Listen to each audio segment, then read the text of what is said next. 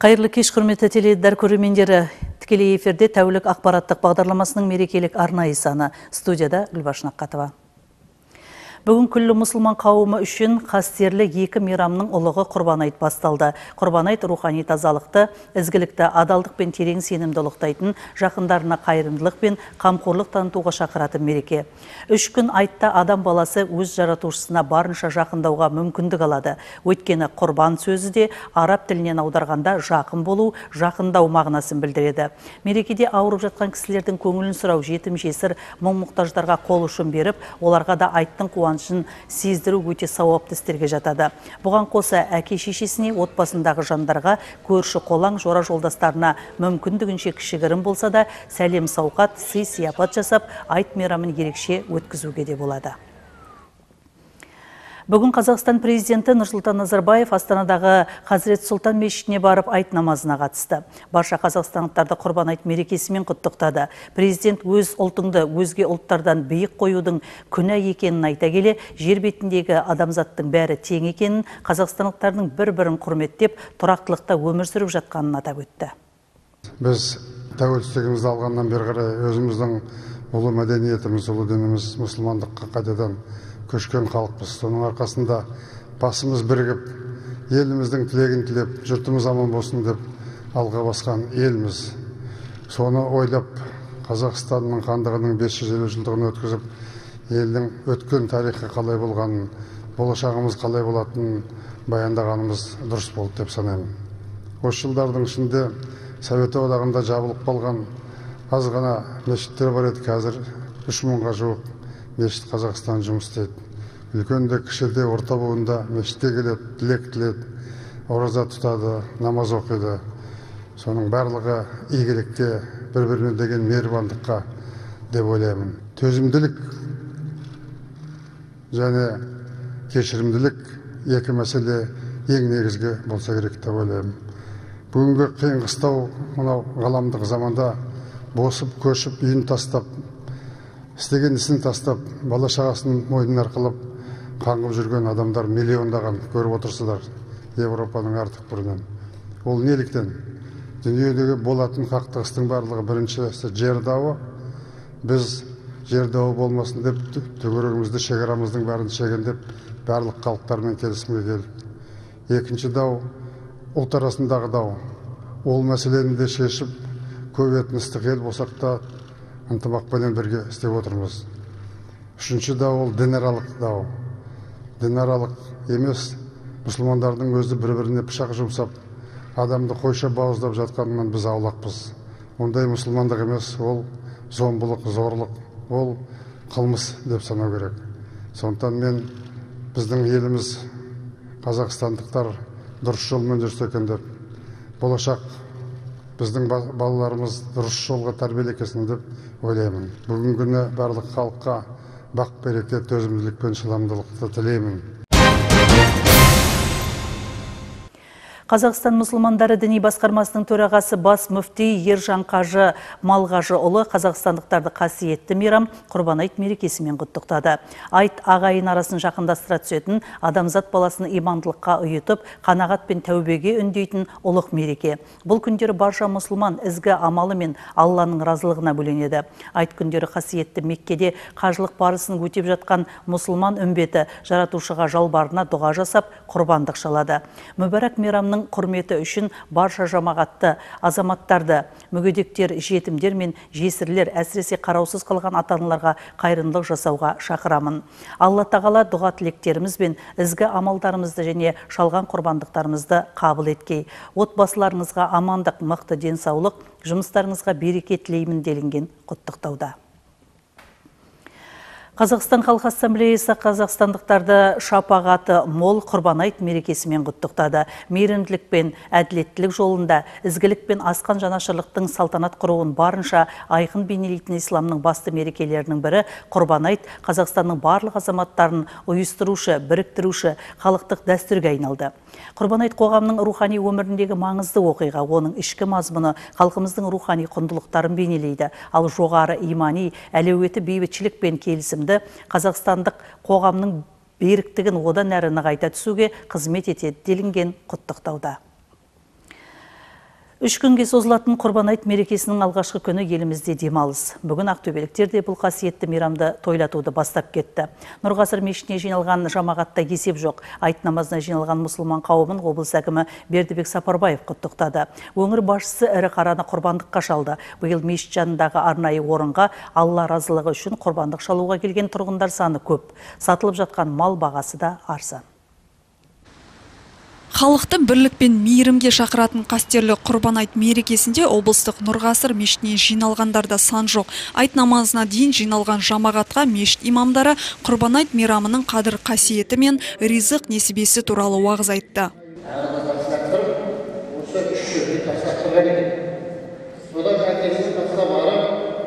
Одан кейін мешіт толы қала тұрғындарын ұлық мерекемен облыс әкімі Бердібек Сапарбаев құттықтады.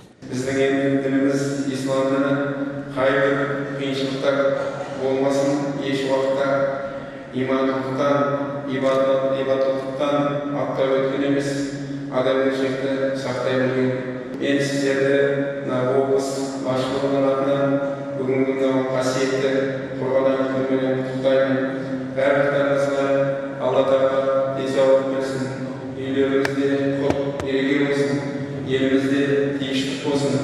қазақстанның абыройы атағы берсін мына бүгінгі құрбандықтарыңыз қабыл болсын Құттықтаудан соң өңір басшысы Бердібек Сапарбаевқа облыстық дін істері жөніндегі департамент атынан қасиетті Құран кәрім сыйға берілді. Облыс әкімі жамағатпен бірге айт намазына қатысты. Мешіт ішінде ине шаншар орын болмады. Ішке сыймағандар Алла үйінің алдына жайғасты.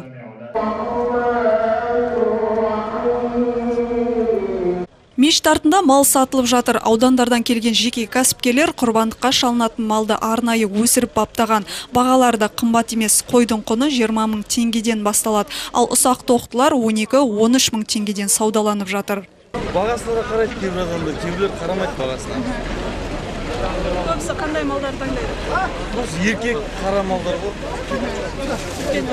үлкендердің среднийлердің бізде қойлар жиырма мың теңгеден Нұрғасыр мешітінің жанында құрбандық шалу үшін арнайы орын тағайындалған. Қасапшылар да жұмыстарына сақадай сай тұр. Барлығы да шариғат шарттарына сай жасалады. Облыс әкімі Бердібек Сапарбаев та Құран оқытып, ірі қараны құрбандыққа шалды. Биыл мешіт жанында құрбандық шалғысы келетіндер сан артқан бәрі сабырмен кезек күтіп тұр. енді бұл алланың берген бізге үлкен нығметі сондықтан да біз аллаға шүкіршілік қыламыз егер де сол ибрагим пайғамбардың заманына шейінгі заманда болған кезде осы уақытта да адамдар құрбандыққа шалып жатқан болар еді. Сондықтан міне бұл үлкен ғибадат алланың бұйрығы құрбандық шалу айт намазын оқу соған міне үлкен ризашылықпен мешітке келіп намаз оқып құрбандықтар шалып жатырмыз. Біздің мейрам мұсылмандарда енді мына. Бәріміз еліміз аман болсын. Бәрі кісілер бақыт болсын енді. Бізге елімізге тыныш болсын. Бүгін мінекей құрбан айт шалып шамалық ырым жасаймыз қазақтың дәстүрінің жолын. Сол қабыл болсын. Алла осы елімізге тыныштық берсін. Ә, елде тыныштық болса бәрін халықпен бірге көреміз ғой. Алла тек тыныштық болса балдарымыздың болашағының бәрі осы елдің тыныштығында ғой. Бәріңізге де құтты болсын. Бүкіл мұсылман қауымының мейрамы ғой бүгін. Бәріне айт қабыл болсын. Бәрі мына оң тілекпен тілеп келіп жатыр ғой. Бәріміз де тілекшіміз тек осы тек құрбан айтқа тек тек сол жақсы тілекпен келіп тұрық қой. Бәрі сол қабыл қабыл болсын. Иә алла қаласа бүгін. Осы намаздан кейін шаламын ба деп отырмын.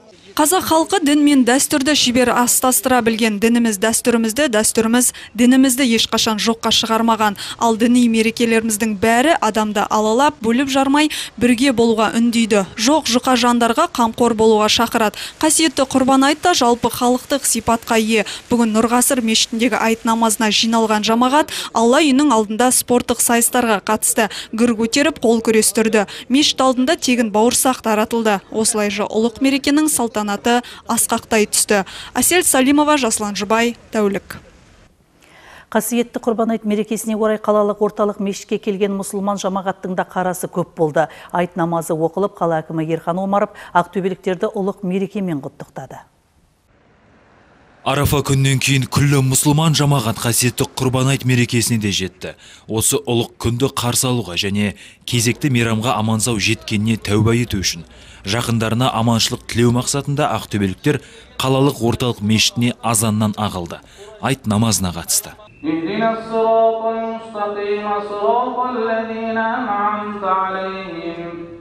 Мешітке келушілер бір бірін құттықтады жұртшылық шама шарқынша құрбандық шалатындарын жеткізді құрметті бауырлар құрметті жамағат ақтөбе қаласының тұрғындары қала келіп жатқан қонақтар бүгінгі ислам дінінің мұсылмандардың ең көрнекті мейрамдарының бірі құрбан айт мейрамы жылына бір рет келетін мейрам.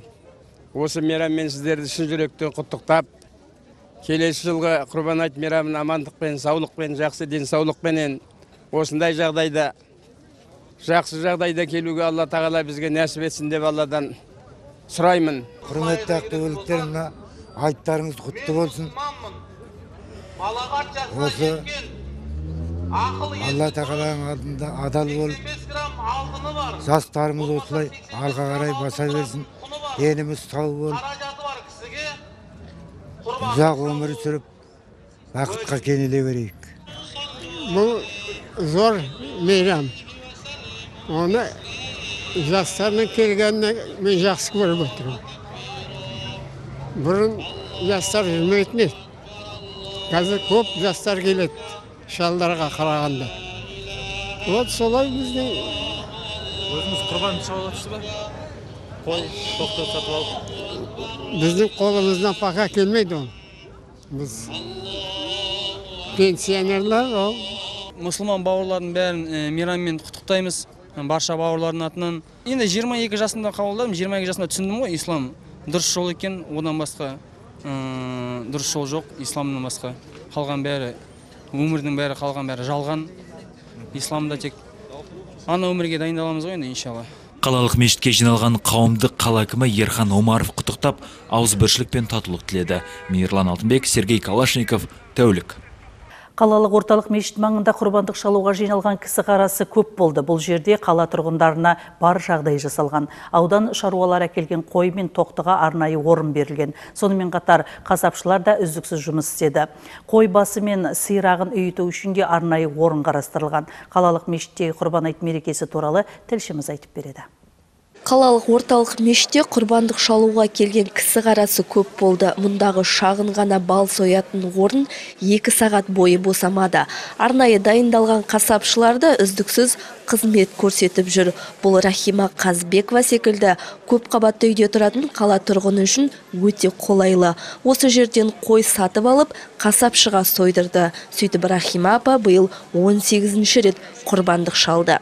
Шалқар ауданынан біз өзі кішкентай кезімізден әке шешеміз солай құрбан шалып бізге сондай тәрбие берді. Сол жылда шаламыз осылай бүкіл халқымыз аман болсын. Мына тілек тілек айтамын қабыл қылсын. Мына бүкіл мұсылмандыққа неге бет бұрып жатырмыз әйтеуір. Халқымыз аман болсын үлкен мына неден күйзелістен аман есен өтейік. Мешіт жанындағы шағын орын арнайы шаруаларға берілген. Бұл жердегі ұсақ мал темір ауданынан әкелінген. Бағасы 15 мың теңгеден басталады. 150 бас қой тоқты жоспар бойынша екі күнде сатылып кетуі тиіс. темір ауданынан келген қойлар міне көрдіңіздер ғой Ә, осыны 15-тен 20-дан сатып жатыр құрбан айтқа келген қойлар арнайы құрбан айтқа келген қойлар ешқандай нелер нетілмеген таза жайылып жүрген қойлар жаңағы Алла тағала разылығы үшін құрбандық шалған қала тұрғындарымен қатар мұнда ет сұрап қайыр тілеп жүрген адамдар саны көп болды. Есік алдында тіпті мал сойып жатқан адамдардың жанында қолдарына дор бастап, ашықтан ашық ет сұраған өзге ұлт өкілдері де кездесті. Арбаға таңылған қария мен кішкентай бала да әркімге бір жалтақтап, абыр-сабыр болған халықтың арасында жүр. Мешіт қызметкерлері оларды сабырға шақырғанымен бәрі де жағдайы төмен адамдарға беріледі деп айтылды деген уәжді алға тартты. біздерде келіп сұраушылар көп. Ә, былтырда біздер 350 адамға таратқанбыз. Биыл мінеки ә, қалалық совезден 300 адамның тізімін алдық. Осы тізім бойынша таратамыз. Биылғы мендегі тізімде ә, соғысқа қатысқандар яғни ұлы отан соғысының ардагерлері бірінші группа инвалидтер сосын 100 жасқа толған аталар менен әжелер бар. Міне осы 300 адамға мен биыл таратамын. Ал артылғаны жетім жесір мен көп балалы отбасыларға беріледі. Құрбандыққа шалынған мал еті бүгін ғана емес, ертең де таратылады. Мешіт қызметкерлерінің айтуынша өткен жылы әр адамға 2-3 келеден ет таратылған. Биыл да осы мөлшерде үлестіріледі. Алтынай Сағындықова Алексей Оразов тәулік. Мал базарында құрбандыққа шалатын ірі ұсақ мал көп. Бағаларды әртүрлі ірі қара малдың құны 100 мыңнан жоғары болса, тоқтылардың ең арзаны 10 мың теңгеден сатылып жатыр. Құрбан айт кезінде мал сатып пайда таппақ ниетпен ауыл шаруалары малды молынан әкелген Гүлвера Сейтенова толығырақ баяндайды. Мал базарында қарбалас байқалмайды. Саудагерлер сауда күндегідей жүріп жатыр дейді. Қойдың бағасы да бұрынғыдай. Бізде әртүрлі баға бар. 10 мыңнан жоғары. 10 мың мен 20 мыңға дейін. 10 мыңнан тоқтылар басталады. 20 мыңнан қойлар бар, 22 мыңнан, 23 мыңнан бар. Әртүрлі бағада. Өтім жақсы өтіп әтіп. Аллаға шүкір. Ірі қарамал сатып алып жүрген ақтөбеліктер көп. Мүйізді малдың бағасы 100-165 мың теңгенің аралығында, семіздері 200 мың теңгеге дейін барады. Қашар шағын жас мал ірі қарадан сондай аламыз ба деген ойымыз бар. Ол бізге ол сенасын түсінеміз ғой, бұрында да алып жүрміз. Сенадан бұрын малдың өзінің күйі, толықтығы, өз бір қарағанда көрінеді ғой, ауру емес, басқа емес. Бұларға да кілең адал мал бәрі мал мамандары ғой келіп жатқан. Сенасы жақсы, бұрынғы сена. Ешқандай сена көтеріліп жатқан жоқ бәрі. Құнарыңға сарап жүрміз. Бағалары қымбат. Енді құдайға құлшылық өткесін саламыз. Құрбандық шалуды парыз деп білгендер малдың бағасына қарап жатқан жоқ, бірақ оны көлікке салып әкету қиын. Сиырлар үркіп айдауға көмбет. Шарт бойынша қорланған, үстіне жара тиген мал құрбандыққа сойылмайды.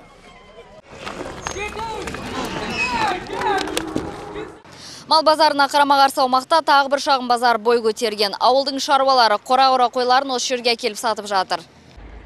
Мұндағы қойлар базардағы қарағанда әлде қайда қымбатқа түседі. 30 мыңнан 55 мың теңгеге дейін. Дәуренбек шаруа қожалығының иесі қандығаштан 25 бас қой әкелген. Кешеден бері үшеуін сатты. 30 мыңнан деп асырмаңдар деп. Соған қарап сатып жатыр енді жобаластырып. Жаңа бас иман айтты деп айтып жатыр. Келген адамдар сөйтіп айтып жатыр ғой енді. Ол бізге не выгодно ғой. Онда қанша расходымыз бар, қанша чабан бар. Мысалы, 4 семьяға айлық төлеп отырмыз мысалы сөйтіп айтып жатыр енді. Бірақ енді құрбан айт болғасын. Енді келтіріп береміз әркімнің қалтасы әртүрлі ғой. Келген адамы келісіп келтіріп береміз. Әйтеке би ауданы әке ауылының шыңғыс шаруашылығынан жеткізілген қойларды орташа бағамен 25 мың теңгеге аласыз. Жасына қарауға болады. Сосын құйрығына қарайсың өйткені құйрықты болса семіз болып келеді. Мына беліне қарайсың міне белінен білесің міне. Тұтасып тұрады. Белгілі ғой жас қой кәрі қоймен салыстырғанда мынау жас қой мысалға ұсақ дейді мынаны бір жарым жылдық қойлар бағасы енді әртүрлі ғой енді. Қазір мына мысалға мынаны біз отыз мың деп тұрмыз. жиырма сегіз жиырма беске де береміз. Таңдаудың көптігі қала тұрғындарын қуантты. Қарап жүріп қалтасы көтеретін малды сатып алды. Мұсылманбыз ғой құрман айт шаламыз деп соған ниеттеніп жатырық енді. Соған мал қарап жүргенім ғой. Былай жаман емес. Сена бір қалыпта. Ең үлкен баға 30 мың ғой. Ар жағында 20 17-ден де бар 15-ден де бар. Былтырға қарағанда биыл цена жақсы. Ісек? Нормально 21 мыңға алдым. Неге еркек қошқар деймін соны сою керек дейді соған қарап еркегінен қарасынан алып жатқан. Нормально енді ол садаққа беретін болғасын адам риза болып алу керек қой. Бұлардың да еңбегі бар шығар қымбат арзан демеймін. Нормально баға. Ауылдан келген шаруалар мерекенің үш күнінде де сауда жасамақ. Олар бүгін ертең сатып алушылар саны артады деген үмітте. Гүлвера Сейтенова, Әлімжан Молдабеков, Тәулік. Алланың разылығы үшін құрбан шалу пенденің иманын күшейтіп, тақуалығын арттырады. Қасиетті Құранда ұмытпаңдар олардың еті де қаны да ешқашан Аллаға жетпейді. Оған жететін нәрсе жүректеріңізге ұялаған тақуалық, Аллаға деген құрметтелінген. Құрбандық шалуға арналған орындардың бірі мал базарының аумағынан да қарастырылған. Бүгін қала сыртындағы мал базары маңына жиналған халықтың қарасы көп. Бұл жердің есігі таңғы сағат 8-ден бері ашық. Құрбан шалу мақсатында мал базарына келгендердің дені көп қабатты үйлердің тұрғындары. Өз ауламызда қан шығаруға рұқсат етілмегендіктен осы жерге келдік дейді. Барлығының ниеті бір, ол Алла разалығы үшін құрбандық шалу.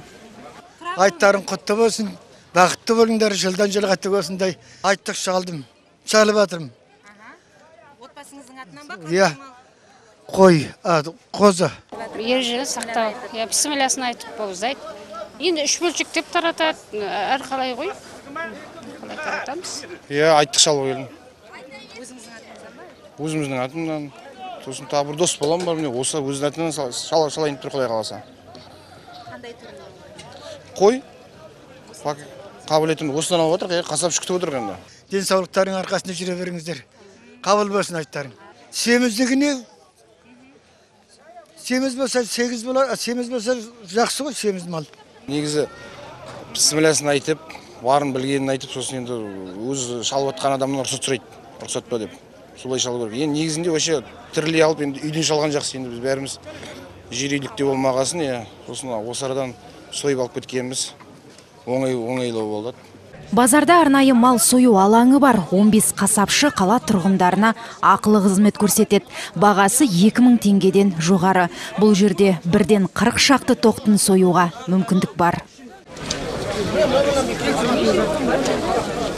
Қала тұрғыны Баян Гелманова айт намазы оқылып болған соң өз отбасы атынан құрбандыққа тоқты шалды. Енді сойылған малдың бір бөлігін мерекелік дастархан әзірлемек. Қалған бөлігін көрші қолаң мен жағдайы төмен адамдарға үлестіріп бермекші. Жыл сайын қасиетті мерекеге орай құрбан шалу Гелмановтар отбасы үшін дәстүрге айналған. алла қабыл қабыл алсын ниетіміз дұрыс қой бәріміздің біздің аман болайық әрқашан денсаулық мықты болсын иә құрбан шалып жатырмын да жыл сайын жыл сайын саламыз құрбанды үлкен қой. Аға жақсы екі жастағы қазақы қой. Аға оны үшке бөлеміз. Екі жағын таратамыз. Аға біреуін үйге адам шақырып құран оқытып жіберемін. Аға қалғанын таратамыз. Бұл жерге тек мал сою ғана үшін емес, сондай-ақ құрбандық етін сұрап келушілер де бар. Ол кісілердің де өтініші ескерілді. Айттықтан дәм татуға келгендерге 3-4 келі еттен арнайы қалталарға салынып таратылды. Айта кетейік, Алланың разалығы үшін құрбан шалу пенденің иманын күшейтіп, тақуалығын арттырады. Құрбандық ет ағайын туыс, көрші қолаң, тұрмысы төмен отбасыларына, жетім мен жесірлерге, мүгедектер мен науқас жандарға таратылуы тиіс. Құрбан шалуға тек төрт түлік мал ғана жарамды. Олар түйе, сиыр, қой мен ешкі. Ал қаржылық мүмкіндігі жоқ адамдарға құрбан шалу міндет емес. Жанарда Атқызы, Әлімжан Молдабеков, Тәулік. Алақай қуыршақ театрының ұжымы да құрбандық шалып айт мерекесін атап өтті. Бүгін Ассалаумағалейкум төрт халықаралық қуыршақ театры фестивалінің Ақтөбедегі соңғы күні. Алақайлықтар мұсылмандардың ұлық мейрамдарының бірі құрбан айтты фестивальға жер-жерден жиналған қонақтарымен бірге тойлады. Киіз үйден ас берді. Толығырақ Айман Болатқыздың репортажында. Алақай қуыршақ театрының ауласына ағаш үй орнатылған әртістер қонақ күтудің қамымен жүр. Құрбандыққа шалынатын мал әкелініп, молда шақыртылды. Айт намазына дейін шалынған құрбандық қабылданбайды деген мұсылмандық ереже бар. Бүгін Ақтөбе мешіттерінде намаз таңғы 8:30-да оқылды. Сағат 9-дарда құрбандық шалу басталды. Алақай қуыршақ театрында алдымен молда аруақтар рухына құран бағыштады. Амин аллах Құрбан айт мейрамын ұжым көрші Ресей, Қырғызстаннан келген қонақтармен бірге тойлады. Дастархан басына жиналғандар жеті наннан ауыз тиіп, төс қағыстырып бір-бірін ұлық мерекемен құттықтады. Бүгін міне үлкен ұлы мұсылмандардың ұлы мерекесі құрбан айт болып жатыр. Бүгін міне Алақай қуыршақ театры сол мерекеге байланысты үлкен сол мерекеге байланысты бүгін мал шалып өзімізді құрбандық шалып жатырмыз. Ол ассалаумағалейкум төрт фестивалінің қарсаңында болып жатыр бұл ұлы мереке сондықтан да келген қонақтарымыз да осы біздің дәстүрімізді көрсін деген ниетпен бүгін қазір қазан асылып өзіміздің жаңағы асымызды ә, сол қонақтарға өзіміз ұсынамыз мінекей көріп отырсыздар киіз үй барлығы дәстүрлі түрде өтіп жатқан жайы бар Бүгін Ақтөбеде Ассалаумағалейкум төртінші халықаралық қуыршақ театрлар фестивалінің соңғы күні. Келесі жылы қуыршақтар Бішкекте бас қосады. Айман Болатқызы, Алексей Оразов, Тәулік. Осымен тікелей эфирдегі тәулік ақпараттық бағдарламасының Құрбан айт мерекесіне арналған арнайы хабары аяқталды. Назарларыңызға рахмет. Құрбан айт мерекесі мүбәрәк болсын, еліміз аман, жұртымыз тыныш болсын ағайын. Эфирде көріскенше.